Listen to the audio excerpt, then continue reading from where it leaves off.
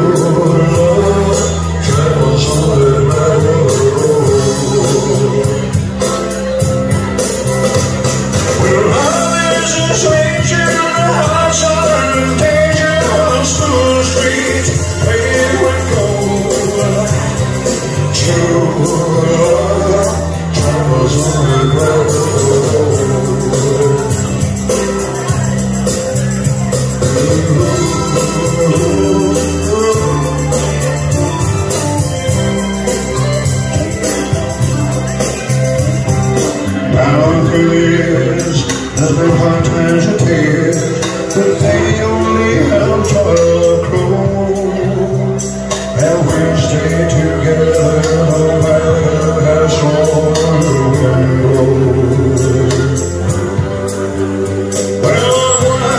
machine.